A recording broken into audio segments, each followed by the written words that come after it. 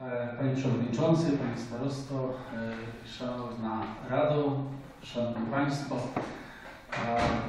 Rzeczywiście miało być dłużej, jednakże em, tak się składa, że czasami te obowiązki, które wynikają z takiego dnia codzien- codziennego zmieniają plany.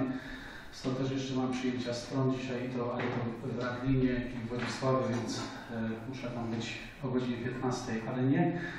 Darowałbym sobie, gdybym e, nie odwiedził sesji Rady Powiatu, Rady, która jest mi szczególnie droga, chociażby z tego względu, że gdzieś tutaj stawiałem swoje pierwsze kroki samorządowe i to dzięki tej Radzie gdzieś tam w swoim życiu e, zafunkcjonowałem nie tylko jako starosta raciborski, ale również jako i poseł Rzeczpospolitej. E, Szanowni Państwo, chciałbym e, niejako tak w dwóch osobach, zarówno w swoim imieniu, jak i w imieniu pana posła do Parlamentu Europejskiego, pana Bogdana Marcinkiewicza, e, złożyć, przekazać Wam, Waszym rodzinom, za Waszym pośrednictwem wszystkim mieszkańcom powiatu raciborskiego serdeczne życzenia zdrowia, szczęścia, błogosławieństwa Bożego, samych dobrych dni u progu przyjścia nowiny anielskiej do naszych domów.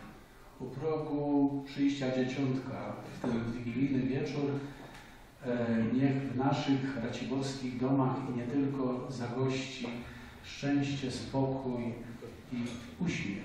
I uśmiech, który towarzyszy nam wraz z błogosławieństwem nowonarodzonego na cały 2014 rok.